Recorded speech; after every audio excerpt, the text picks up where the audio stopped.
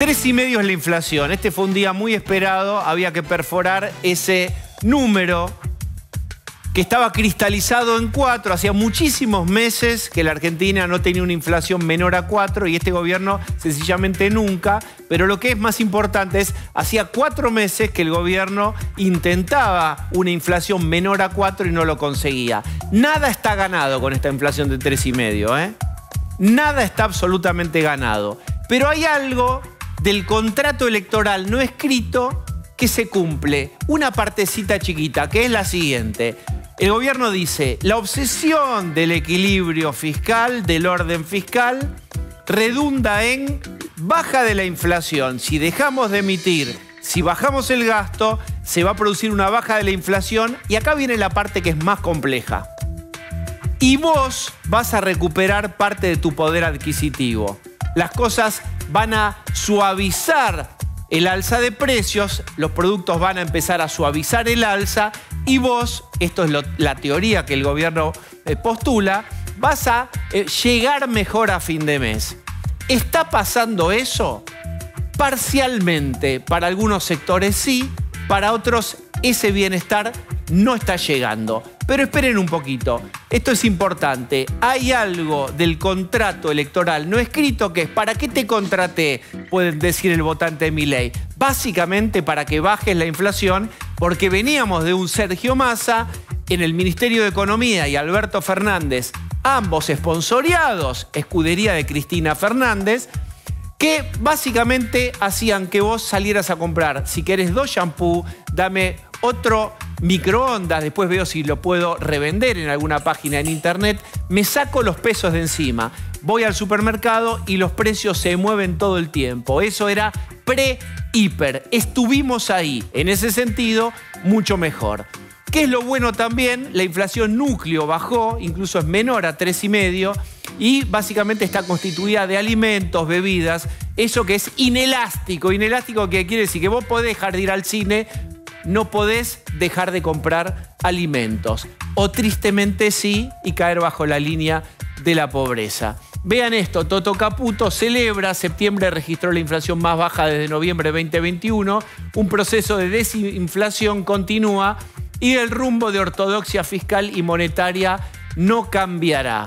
Esta es la parte luminosa de este equilibrio fiscal. Después tiene una parte que es un signo de interrogación yo te decía ayer, el frente fiscal y el frente social.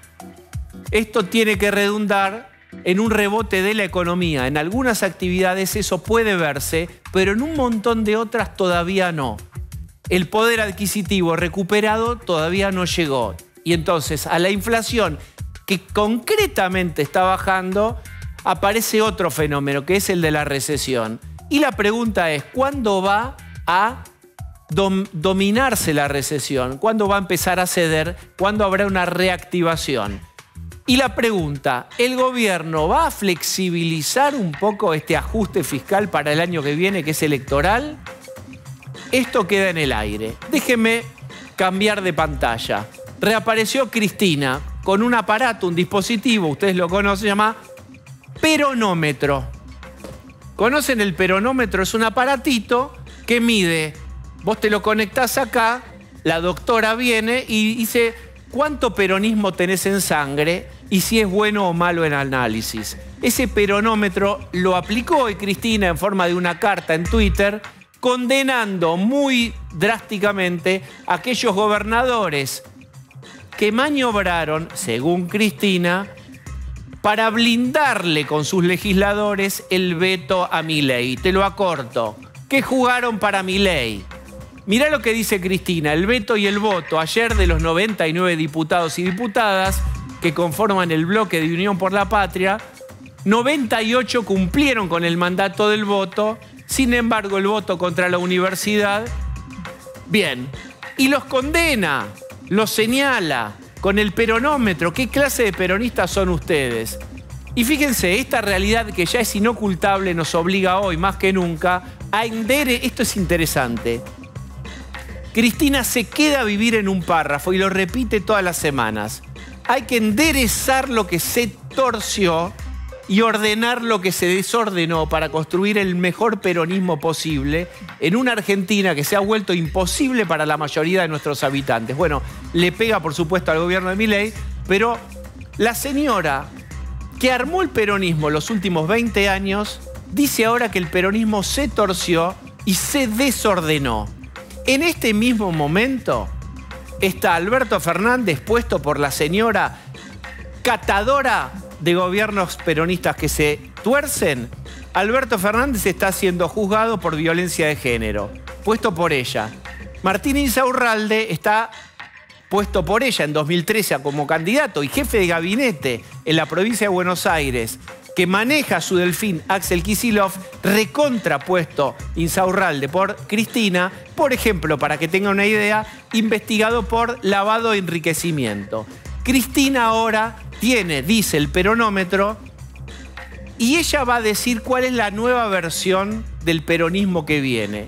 Y acá yo me acuerdo de una frase de Ayrton Senna que en esta era Colapinto volvió a decirse que es Sena decía, si alguien ve un hueco y no va por él, no puede ser piloto.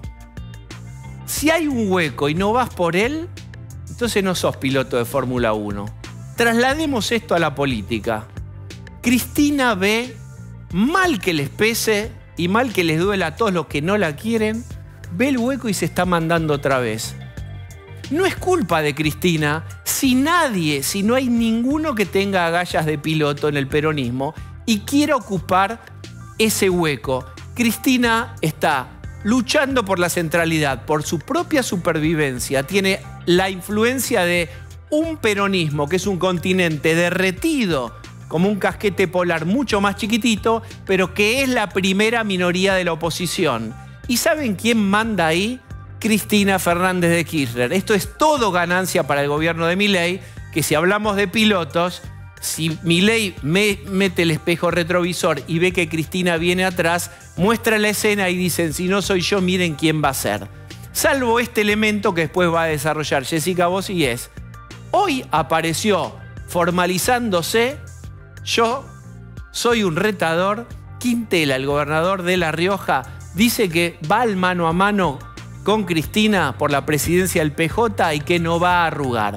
¿Es realmente un retador? ¿Hay alguien que ve el hueco y acelera o es un mero sparring? En esta pregunta es la Argentina política que viene. Acompáñame, por favor.